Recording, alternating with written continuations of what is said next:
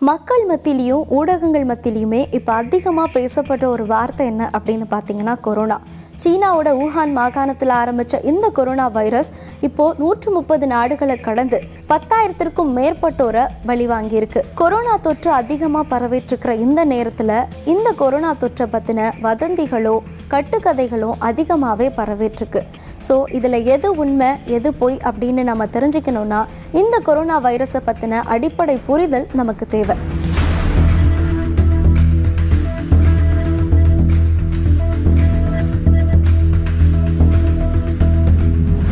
Virus என்பது புரதம் மற்றும் மரபணு பொருட்களாலான ஒரு நுண்ணுயிரி. உலகில் நூற்றுக்கணக்கான வகை வைரஸுகள் எப்போதும் இருந்து கொண்டுதான் இருக்கிறது.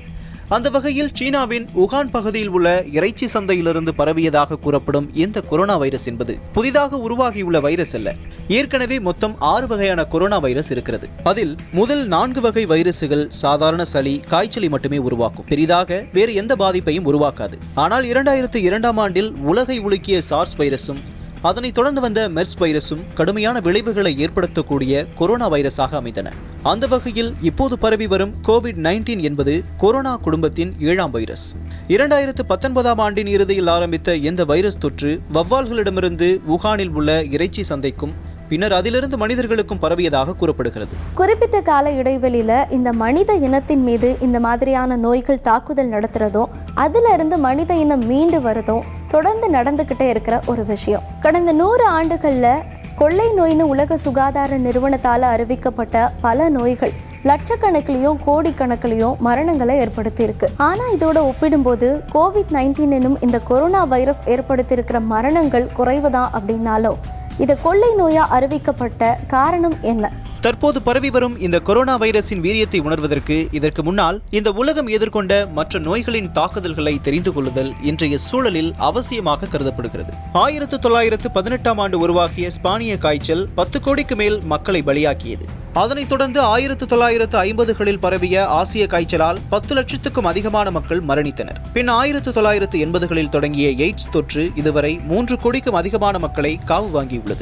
மேலும் இரண்டாயிரத்து இரண்டாம் ஆண்டு உலகை உலுக்கிய சார்ஸ் வைரஸ் இரண்டாயிரத்து ஒன்பதாம் ஆண்டு பெரும் பாதிப்பை ஏற்படுத்திய பன்றிக் காய்ச்சல் இரண்டாயிரத்தி பதினான்கு இரண்டாயிரத்தி பதினாறில் கொசுக்களால் மேற்கு ஆப்பிரிக்காவில் பரவிய எபோலா வைரஸ் இரண்டாயிரத்தி பதினாறில் பிரேசிலில் துவங்கிய சிகா வைரஸ் என இந்த பட்டியல் நிற்கிறது. ஆனால் மேற்கூறப்பட்ட நோய் தாக்குதல்களை ஒப்பிடும்போது கோவிட் நைன்டீன் ஏற்படுத்தும் மரண விகிதங்கள் குறைவாக இருக்கும் பட்சத்திலும் உலக சுகாதார நிறுவனம் இதனை உலகளாவிய ஆரோக்கிய நெருக்கடி என அறிவித்துள்ளது.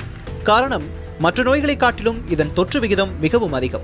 ஆம் இரண்டாயிரத்தி இரண்டில் சார்ஸ் வைரஸ் உலகம் முழுவதும் பரவ ஐந்து மாதங்கள் வரை ஆகிய நிலையில் இன்று கோவிட் நைன்டீன் நான்கே வாரங்களில் உலகம் முழுவதும் நூற்று முப்பது நாடுகளுக்கு மேல் பரவிவிட்டது என்றால் தற்போது இந்த உலகம் எவ்வளவு அபாயகரமான நிலையில் இருக்கிறது என்பதை நம்மால் உணர முடியும்.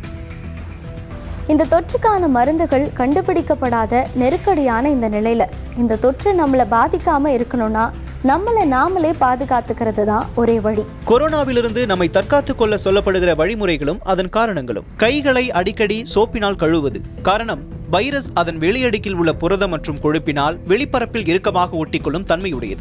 வைரஸ் இருக்கும் இடங்களில் நாம் கை வைக்க நேர்ந்தால் நம் கைகளில் வைரஸ் ஒட்டிக்கொண்டு பிறகு முகம் மூக்கு வாயை தொடும்போது உடலினுள் சென்றுவிடும். ஆனால் நாம் சோப்புகளை உபயோகித்து கைகளை கழுவுவதன் மூலம் வைரஸின் புரதம் மற்றும் கொழுப்பு நிறைந்த வெளியடுக்கு உடைந்துவிடும். அந்த அடுக்கு உடைந்த பின் வைரஸால் உயிர் வாழ முடியாது.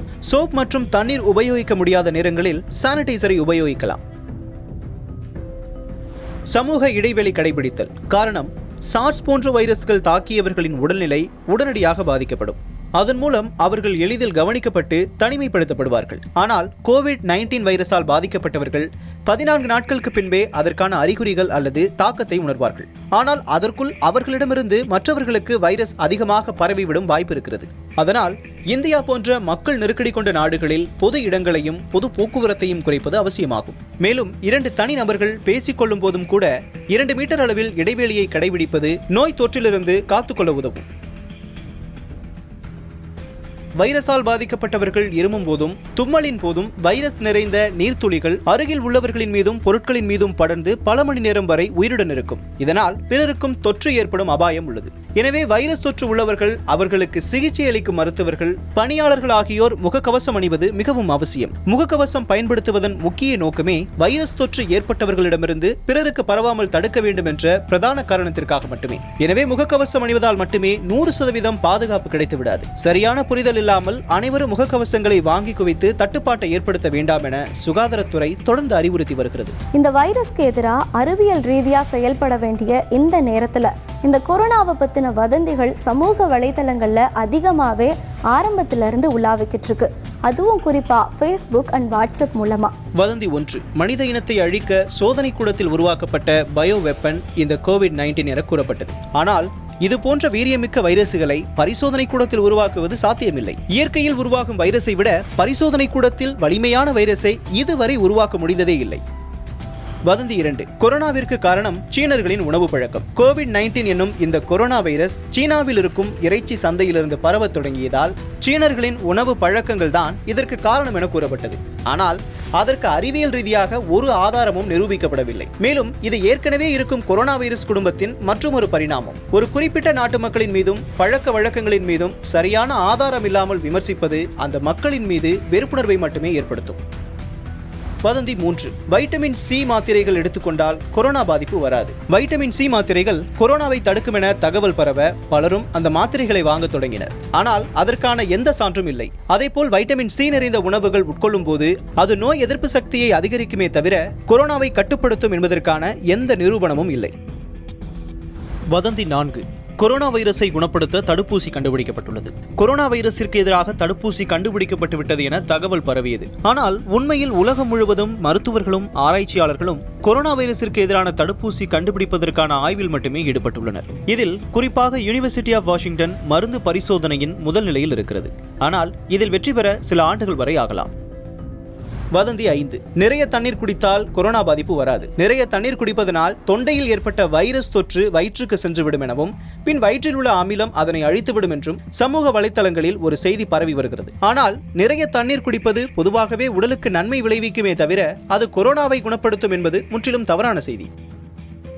வதந்தி ஆறு. அதிக வெயிலில் கொரோனா பரவாது. அதிக வெப்பமான பகுதிகளிலும் வெயிலிலும் கொரோனா பரவாது என சமூக வலைத்தளங்களில் அதிகமான மீம்கள் பகிரப்பட்டது. ஆனால் உலக சுகாதார அமைப்பு இதுவரை அளித்துள்ள சான்றின்படி அதிக வெப்பமான மற்றும் ஈரப்பதமான அனைத்து வானிலை பகுதிகளிலும் கொரோனா வைரஸ் பரவி உள்ளது வதந்தி ஏழு. கர்ப்பிணி பெண்கள் குழந்தைகள் அதிகமாக பாதிக்கப்படுவர். கொரோனா பாதிப்பின் ஆரம்ப காலகட்டத்தில் இதனால் கர்ப்பிணி பெண்கள் குழந்தைகள் அதிகமாக பாதிக்கப்படுவர் என கூறப்பட்டது. ஆனால் கொரோனா வைரஸ் உலகம் முழுவதும் அனைத்து தரப்பு வயதினரையும் பாதித்துள்ளது. முதியவர்கள் மற்றும் முன்பே ஏதேனும் நோயால் பாதிக்கப்பட்டுள்ளவர்கள் சற்று அதிகமாக பாதிக்கப்படுகின்றனர். வதந்தி எட்டு. வெந்நீரில் குளித்தால் கொரோனா வராது. வெந்நீரில் குளித்தால் கொரோனா பாதிப்பு வராது என்ற செய்தி திடீரென பரவ சமூக வலைத்தளங்களில் அதனை பகிரத் தொடங்கினர். ஆனால் உண்மையில் வெந்நீரில் குளிப்பதற்கும் அதன் மூலம் கொரோனாவிலிருந்து தப்பிக்க முடியும் என்று கூறுவதற்கும் எந்த சம்மதமும் இல்லை. குளியலை விட நமது கைகளை அடிக்கடி சுத்தப்படுத்துவதன் மூலமே கொரோனா வைரஸிலிருந்து நம்மை தற்காத்துக் கொள்ள முடியும். வதந்தி ஒன்பது. தபால் மற்றும் கொரியரின் மூலம் கொரோனா வைரஸ் பரவுகிறது. தபால் மற்றும் கொரியர் அனுப்புவதன் மூலம் கொரோனா பரவுகிறது என்ற தகவல் ஆதாரமற்றது. ஏனெனில் நம்முடைய சுற்றுப்புற வெப்பநிலையில் நாட்கணக்கிலோ வாரக்கணக்கிலோ அனுப்பப்படும் தபால் அல்லது கொரியர்கள் மூலம் வைரஸ் பரவுவதற்கான ஆபத்து மிக மிக குறைவு. வதந்தி பத்து. பப்பாளி சாறு பூண்டு ஆகியவை கொரோனாவிற்கு தீர்வளிக்கும். பப்பாளி சாறு பூண்டு ஆகியவை கொரோனாவை கட்டுப்படுத்தும் என மக்கள் சிலரால் நம்பப்பட்டு வரும் சூழலில் அதற்கான எந்த சான்றும் மருத்துவ முறையில் நிரூபிக்கப்படவில்லை. வதந்தி பதினொன்று. வெப்ப அளவுகோல் மூலம் கொரோனா வைரஸ் பாதிக்கப்பட்டவர்களை கண்டறியலாம். வெப்ப அளவுகோல் எனும் தெர்மல் ஸ்கேனர் மூலம் வைரஸ் பாதிக்கப்பட்டவர்களை கண்டறியலாம் என சிலர் தவறாக புரிந்து கொள்கின்றனர். ஆனால் உண்மையில் வெப்ப அளவுகோல் மூலம் உடலின் வெப்பத்தை மட்டுமே அளவிட முடியும். அதன் மூலம் காய்ச்சல் உள்ளவர்களை கண்டறியலாம். கொரோனா பாதித்தவர்களை கண்டறிய முடியாது. வதந்தி பனிரெண்டு. உடலில் குளோரின் பூசிக்கொள்வதன் மூலம் வைரஸ் பாதிப்பிலிருந்து தப்பிக்கலாம். உடல் முழுவதும் குளோரின் ரசாயனத்தை பூசிக்கொள்வதன் மூலம் வைரஸ் தாக்குதலிலிருந்து தப்பிக்கலாம் என்பது தவறான புரிதலாகும். குளோரின் பூசிக்கொள்வதன் மூலம் உடலில் உள்ள வைரஸ்கள் அழியாது. மேலும் குளோரின் மிகவும் நச்சுத்தன்மை வாய்ந்த ஒரு ரசாயன பொருளாகும். அதனை உடலில் பூசிக்கொள்வது நமது உயிருக்கே ஆபத்தை விளைவிக்கும் சூழலை உண்டாக்கும்.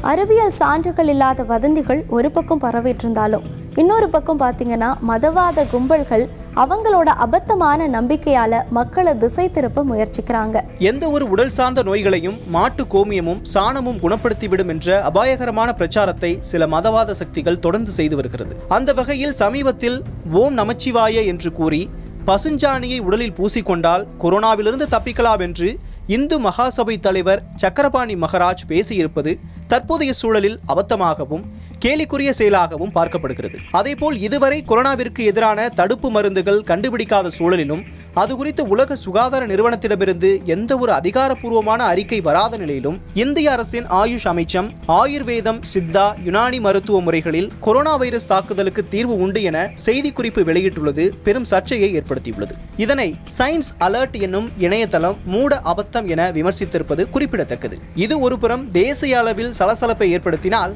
இதேபோல் தமிழகத்தில் ஹீலர் பாஸ்கர் எனும் யூடியூப் ஆசாமி சுகாதாரத்துறையை விமர்சித்து கொரோனா குறித்த ஆதாரமற்ற கருத்துக்களை கூறியும் வீடியோ ஒன்றை வெளியிட்டார். இந்த சர்ச்சை ஓய்வதற்கு முன்பே நான் லதா மேடம் பேசுகிறேன் என்று முகம் தெரியாத பெண்மணியின் வாட்ஸ்அப் ஆடியோ ஒன்று வைரலானது. போர்க்கால நடவடிக்கைகள் மேற்கொள்ள வேண்டிய இது போன்ற காலகட்டத்தில் தங்களை பிரபலப்படுத்திக் கொள்வதற்காக இது போன்ற சிலர் செய்யும் அபத்தங்கள் மக்களை கூடுதல் துயரத்திற்கு ஆளாக்குகிறது. கொரோனா வைரஸ் குறித்த பல்வேறு ஆராய்ச்சிகளை மேற்கொண்ட டாக்டர் பவித்ரா வேங்கடகோபாலன் ஒரு சில தகவல்களை நம்ம கிட்ட பகிர்ந்துக்கிறாங்க. இந்த சுச்சுவேஷனில் நம்ம மக்களாக செய்ய வேண்டியது என்ன? இந்த கேள்வி எல்லாருக்குமே இருக்குது இப்போது ஒன்று வந்து நம்மளால் செய்யக்கூடிய ஒரு முக்கியமான விஷயம் வந்து செல்ஃப் ஹைஜீன் செல்ஃப் ஐசோலேஷன் இந்த வைரஸ் எப்படி பரவுதுன்றது நமக்கு தெரிஞ்சிடுச்சு. ஸோ நம்மளால் என்ன பண்ண முடியும் தடுக்கிறதுக்கு? கையை க்ளீனாக வச்சுக்கோங்க. டிஸ்டன்ஸ் மெயின்டைன் பண்ணுங்கள் சோஷியலாக இப்போ எல்லாமே வந்து ஸ்கூல் எல்லாம் க்ளோஸ் பண்ணிட்டாங்கன்னு சொல்லிட்டு காலேஜ் பசங்களாம் ஜாலியாக பைக் எடுத்து சுற்றுறாங்க இதெல்லாம் செய்ய வேண்டாம். ஏன்னா இப்படி எடுத்து சுற்றுறப்போ நாலஞ்சு பசங்க ஒன்றா கூட ஒன்றா சேருவாங்க. ஒன்றா சேர்ந்து இந்த வைரஸ் வந்து ஒருத்தர்கிட்ட நிறைய பேருக்கு பரவும். அவங்க அவங்க அவங்க வீட்டுக்கு போவாங்க. வீட்டுக்கு போனால் அவங்க ஃபேமிலியில் இருக்கவங்க அவங்க ஃப்ளாட்டில் இருக்கவங்களுக்கு பரவ சான்ஸ் இருக்குது ஸோ இந்த டைமில் வந்து நம்மளோட ரெஸ்பான்சிபிலிட்டி வந்து ஃபஸ்ட்டு ஹைஜீன் ரெண்டாவது சோஷியல் ஐசோலேஷன் இப்போ வந்து ஒரு ஃபங்க்ஷன் அட்டன் பண்ணியே ஆகணும் அப்படின்னா எந்த ஃபங்க்ஷனுமே அப்படி கிடையாது. எல்லாமே இந்த சுச்சுவேஷனில் புரிஞ்சுப்பாங்க. இதனால தான் நம்ம வர முடியல அப்படின்னுட்டு. ஸோ ஒரு ஃபங்க்ஷனில் வந்து நூறு பேர் இருப்பாங்க அப்படின்னா ஒரு இன்ஃபெக்டட் பர்சன் வந்து அந்த நூறு பேரில் போய் கலந்தாங்க அப்படின்னா ரெண்டு மூணு பேருக்கு பரப்பலாம். அந்த ரெண்டு மூணு பேர் இன்னும் ஒரு ஆள் ஆளுக்கு ஒரு ரெண்டு மூணு பேருக்கு பரப்புவாங்க. அப்படிதான் பரவும். நம்ம திடீர்னு திரும்பி பார்க்கறதுக்குள்ள இப்போ வந்து இந்த லோவர் நம்பராக இருக்கிற வைரஸ் பாசிட்டிவ் டெஸ்ட் வந்து தௌசண்ட்ஸ் கிட்ட போயிடும்.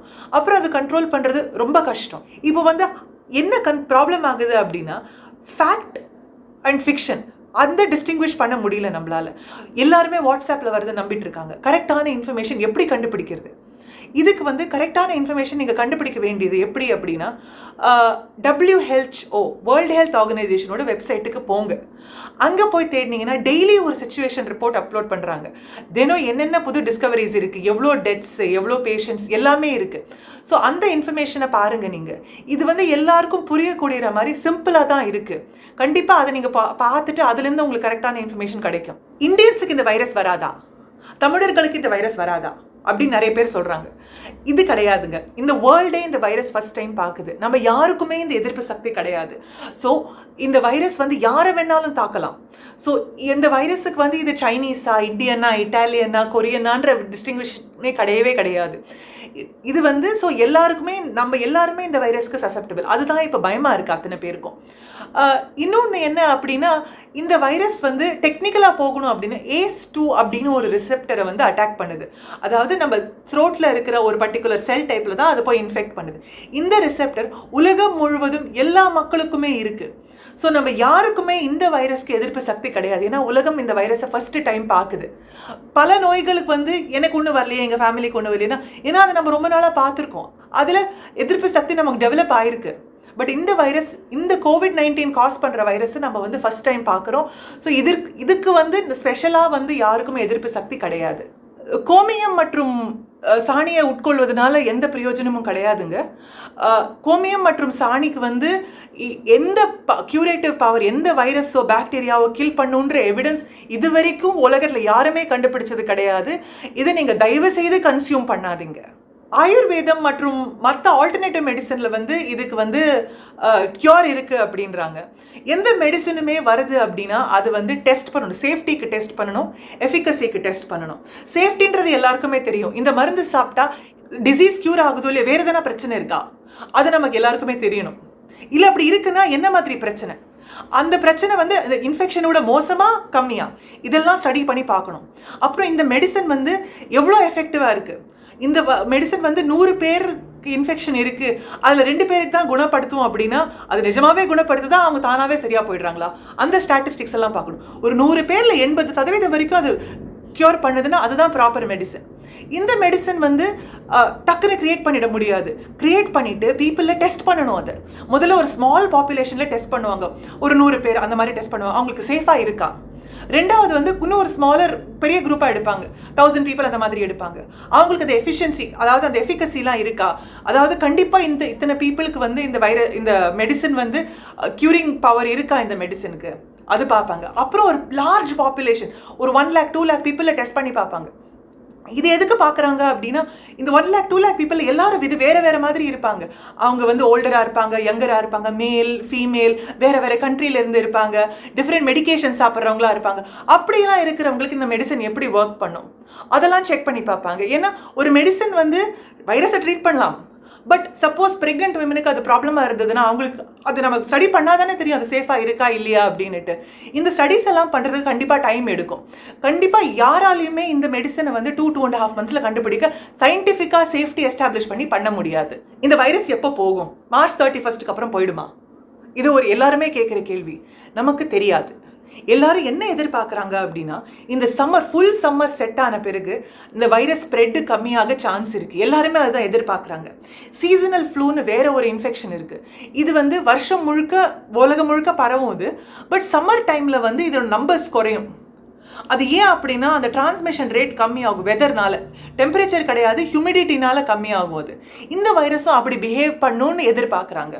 World health organisation hundred percent தெரியாது இது கம்மி ஆகுமா ஆகாதா அப்படின்னுட்டு. நம்ம எல்லாரும் வெயிட் பண்ணி தான் பார்க்கணும். கொரோனா குறித்த தகவல்களை உடனுக்குடன் மக்கள் கிட்ட கொண்டு சேர்க்கும் விதமா உலக சுகாதார மையம் ஒரு வாட்ஸ்அப் எண்ணை வெளியிட்டு இருக்காங்க இந்த நம்பரை நம்ம மொபைல்ல சேவ் பண்ணி ஹாய் அப்படின்னு ஒரு மெசேஜ் அனுப்பிச்சா போதும். கொரோனா குறித்த அதிகாரப்பூர்வ தகவல்கள் செய்திகள் சந்தேகங்கள் இது எல்லாத்தையுமே நம்ம தெரிஞ்சுக்க முடியும். உண்மையையோ வதந்திகளையோ வேறுபடுத்தி பார்க்கறதுக்கு எப்பவுமே விழிப்புணர்வோட இருக்கிறது ரொம்பவே அவசியம். நம்பிக்கையுடன் செயல்பட்டு கொரோனாவிலிருந்து மீள்வோம்.